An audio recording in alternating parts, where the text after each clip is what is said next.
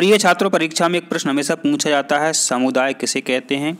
ये बहुत सरल प्रश्न है, आप एक बार वीडियो देख लो और ज़िंदगी ज़िंदगी भर के लिए याद कर लो। तो आप कॉपी में कैसे उत्तर लिखेंगे? तो पहले तो आप हेडिंग लिख देंगे, समुदाय। यहाँ तक कोई समस्या नहीं है। ठीक है? फिर आप आगे लिखेंगे, समुदाय शब्द को अंग्रेज़ी में कम्युनिटी कहते हैं।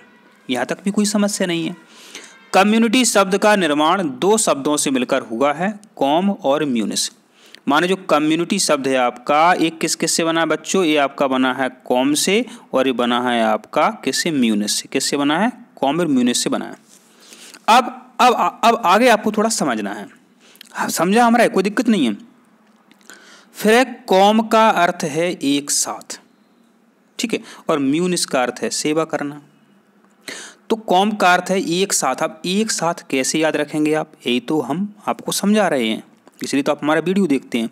तो प्रिय छात्रों देखा जाता है जो एक कौम के व्यक्ति होते हैं जो एक कौम के व्यक्ति होते हैं वो किसी भी ए, कोई भी घटना हो कहीं लड़ाइयाँ हो रही हों तो वो एक साथ आ जाते हैं। कोई रिश्ता भी नहीं हो तब भी वो एक पक्ष में आ जाते हैं। एक साथ आ जाते हैं और एक दूसरे का वो सहयोग करते हैं। कब? जब वो एक कौम के व्यक्ति हों। जब वो क्या हो? जब वो एक कौम के व्यक्ति हों तो ऑटोमेटिक उनमें मित्रता हो जाती है।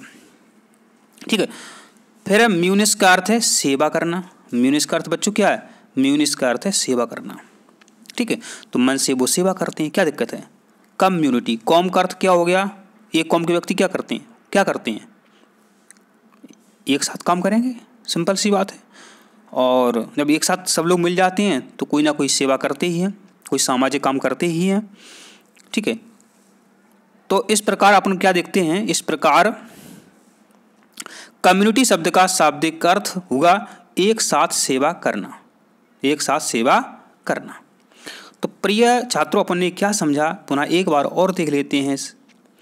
समुदाय शब्द को अंग्रेज़ी में कम्युनिटी कहते हैं। कम्युनिटी शब्द का निर्माण दो शब्दों से मिलकर हुआ है, कॉम और म्यूनिस। कॉम का अर्थ है एक साथ तथा म्यूनिस का अर्थ है सेवा करना। इस प्रकार कम्युनिटी शब्द का अर्थ एक साथ सेवा करना है। तो इतना आपको परीक्षा में लिखना है, नंबर आपको पूरे के पूरे मिलेंगे।